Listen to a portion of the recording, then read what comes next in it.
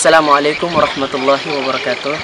Teman-teman, seiring waktu berjalan dari pekan ke pekan, bulan ke bulan Sepanjang kehidupan sering kali kita merasakan kesedihan ataupun kesenangan. Tetapi ketahuilah semua itu tidak akan lama Karena dunia ini hanyalah sementara dan kita tidak akan kekal di dalamnya. Kullu nafsin dha'iqatul maut. Yang namanya manusia pasti akan merasakan yang namanya kematian. Innaka mayitun wa innahum mayitun Dan kamu akan mati. Mereka pula akan mati.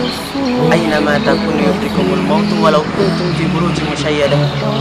Dan di mana pun kalian berada yang namanya kematian pasti akan menghampiri kita. Meskipun kita berada dalam benteng yang tinggi lagi.